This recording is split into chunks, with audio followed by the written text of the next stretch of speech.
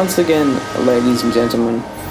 Welcome to the second round of the Precision Racing League's Pacific Championship Season 7. You saw there a mistake in qualifying, and uh, it took quite a few attempts to uh, get qualifying going because so many disconnections happened before anyone could get a lap in. Bam, bam, bam. Three people gone, 16 players started, 13 remaining just a couple of seconds into the first qualifying attempt. And uh, that continued for ages until finally, 50 minutes after we were scheduled to start, Danny takes the second pole in a row. And, uh, well, no one really getting their PBs in that session. You should, you should see there that if uh, either Danny or I got our PB, would have been ahead of her whole time there. But alas, we were unable to match that from just half an hour before the session. And uh, she gets second pole in the row. And uh, Dubzzy is second position, so a pad user in front. Not good news for us. But we're third, and uh, not too far away from the front of the grid. Time to get going finally. We've lost a couple of people in the process, but off we go now and we've got a really good start there, in fact slightly better than Dubzzy and both of us with a better start than Danny. She has already moved over to the left to defend and there's a bit of contact there uh, between Dubzzy and Danny. We're down the inside and all of a sudden lag central happens. She disappears, she's, she's actually spun off to the left. I get a penalty even though I tried to avoid and I've lost positions as well.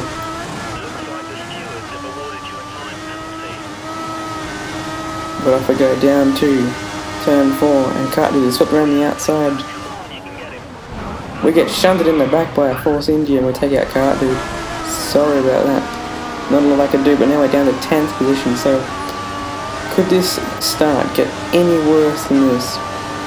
The lag, the disconnections, the time it's been until we got to this point, but boom! Spinning a uh, Williams and a McLaren. We get a puncture there. Uh, a couple of laps later, we lose a half. And uh, styling and uh, the condition for the mass disconnection is six people to disconnect uh, within a lap. And that's three, I believe. We'll just follow this and see if any more go.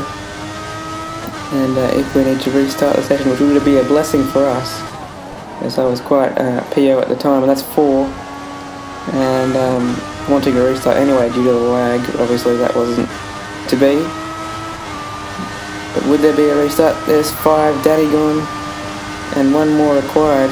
Who's it to be? It's me. so that was lucky.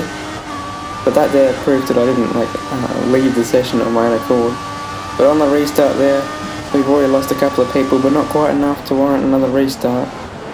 And a very strange restart in here that, that Dubzzy's slowed down a lot at the last turn. I've overtaken him, but I realise I shouldn't have overtaken him before the light. So I'm about to let him back through. And uh, I move over here and back off to let him back through.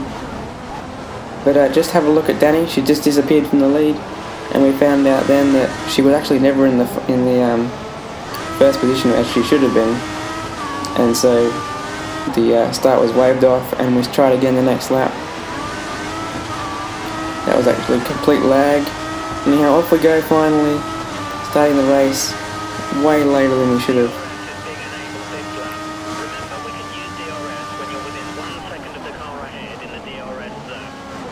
And Dubzzy's through there into the lead and uh, we're going to try and follow these two, uh, the, the remaining uh, challenges really because Styling is a losing connection the Mercedes drivers who were very strong in the opening round including the winner Styling.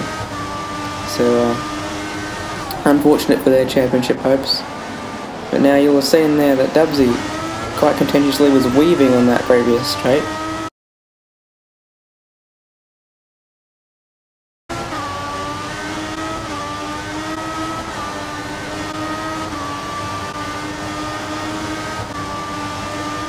stewards looked at it afterwards and he was penalised for that.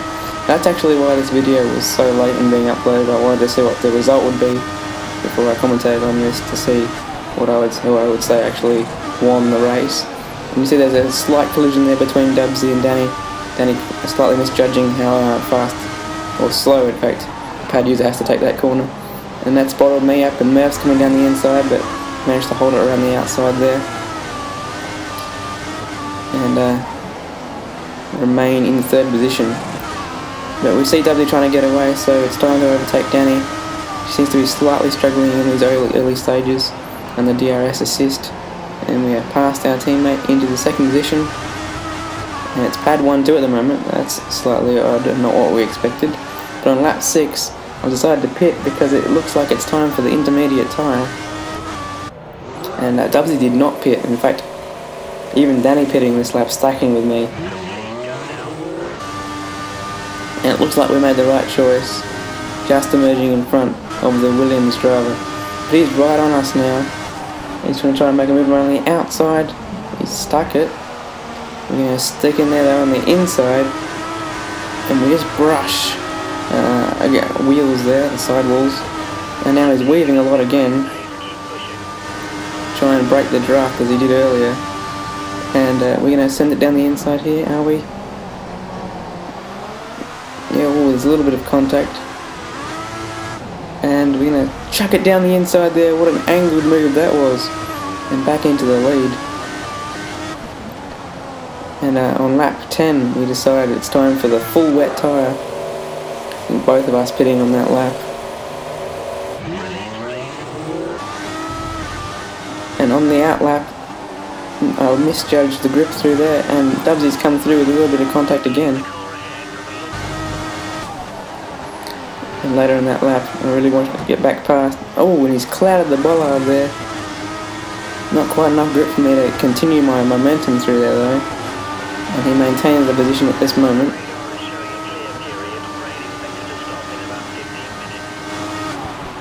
We send it back down the inside here.